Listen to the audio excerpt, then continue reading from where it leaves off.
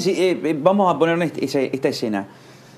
Te llama el gobernador y dice, Felipe, este, ¿qué me aconsejas?